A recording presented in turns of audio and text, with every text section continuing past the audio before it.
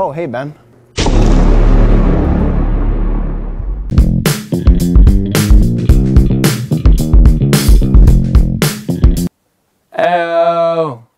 Welcome to the other stuff. Earlier this week, Granby Public Schools banned all caffeine products in their school.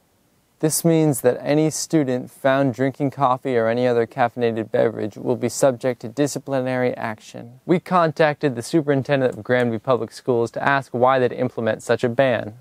Superintendent Cheryl Stanton responded by saying, quote, we implemented several changes in the food services, including the elimination of caffeinated and high sugar drinks and encouraging healthy habits by adding water filling stations. This is the first school district in Massachusetts to ban coffee in schools. Ben and I were wondering what life at Northampton High School would be like if coffee was banned.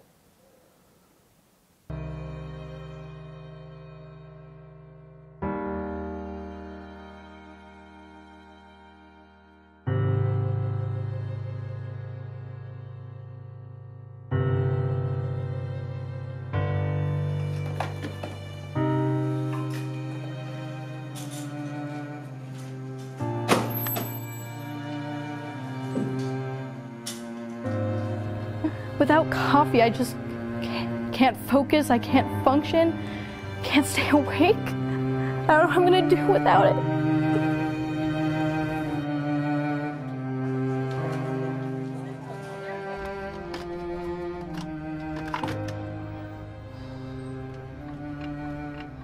Yes, I know that's difficult, and I'm trying to work with you. Wait, wait a minute. I gotta go. I smell coffee.